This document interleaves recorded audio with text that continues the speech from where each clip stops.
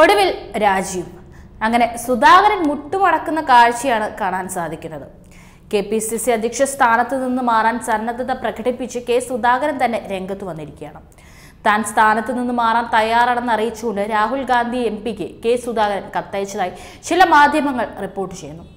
രണ്ട് ദിവസം മുൻപാണ് കത്തയച്ചതെന്നാണ് റിപ്പോർട്ടിൽ പറയുന്നത്. കാരണം ആ രണ്ട് ദിവസം കൊണ്ട് എന്തൊരു കോലാഹലമായിരുന്നു ഇവിടെ നടന്നത്. ആ ബഹളം കാണുമ്പോൾ സുധാകരനല്ല ആർക്കായാലും രാജിവെച്ച് പുറത്തു പോകാനായിരിക്കും തോന്നുക. പക്ഷേ ആരോഗ്യ പ്രശ്നങ്ങൾ ചൂണ്ടിക്കാട്ടിയാണ് കെ പി സി സി അധ്യക്ഷ സ്ഥാനത്ത് നിന്ന് മാറാൻ കെ സുധാകരൻ സന്നദ്ധത പ്രകടിപ്പിച്ചത്. അതേസമയം പ്രതിപക്ഷവും കെ പി സി സിയും തമ്മിൽ യോജിപ്പില്ല എന്ന ആരോപണവും അദ്ദേഹം കത്തിൽ ചൂണ്ടിക്കാട്ടുന്നുണ്ട്. പ്രതിപക്ഷ നേതാവിൽ നിന്ന് പിന്തുണ കിട്ടുന്നില്ല എന്നും കത്തിൽ പറയുന്നതായാണ് റിപ്പോർട്ട്.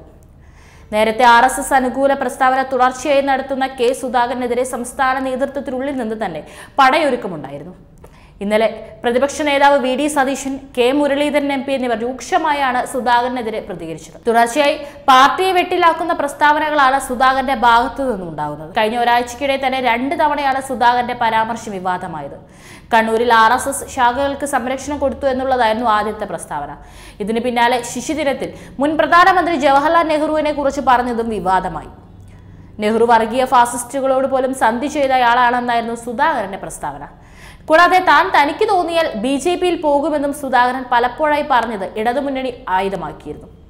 പുതിയ സാഹചര്യത്തിൽ കെ സുധാകരന് രണ്ടാം ടൈം നൽകേണ്ടതില്ല എന്നാണ് പാർട്ടിക്കുള്ളിൽ ഗ്രൂപ്പ് ഭേദമന്യുള്ള അഭിപ്രായം. രണ്ടായിരത്തി ഇരുപത്തി ഒന്നിലെ നിയമസഭാ തെരഞ്ഞെടുപ്പ് തോൽവിക്ക് പിന്നാലെയാണ് കെ പി സി സി അധ്യക്ഷനായി കെ സുധാകരനെ നിയോഗിച്ചത്. പിന്നീട് പ്രതിപക്ഷ നേതാവ് വി ഡി സതീഷിനെയും ചുമതലപ്പെടുത്തി. ഇതോടെ സുധാകരൻ സതീശൻ ദ്വയത്തിന് കീഴിലായിരുന്നു കേരളത്തിലെ കോൺഗ്രസ്. എന്നാൽ സർക്കാരിനെ പ്രതിരോധത്തിലാക്കാവുന്ന നിരവധി സന്ദർഭങ്ങൾ വരുമ്പോഴെല്ലാം സുധാകരന്റെ ഭാഗത്തു നിന്ന് പാർട്ടിയെ സ്വയം പ്രതിരോധത്തിലാക്കുന്ന പരാമർശങ്ങൾ വരാറുണ്ട്. ഏറ്റവും ഒടുവിൽ നെഹ്റുവിനെതിരായ പരാമർശം ദേശീയ തലത്തിൽ പോലും ചർച്ചയായി.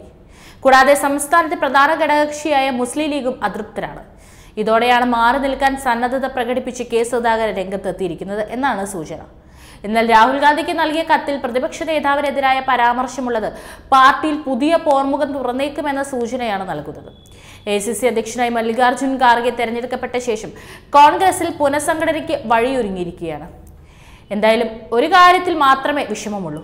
ഒരു കാലത്ത് കോൺഗ്രസിലെ ഗർജിക്കുന്ന സിംഹത്തെയാണല്ലോ എല്ലാവരും കൂടെ ചേർന്നിപ്പോൾ വേട്ടയാടുന്നത് എന്ന് ഓർക്കുമ്പോൾ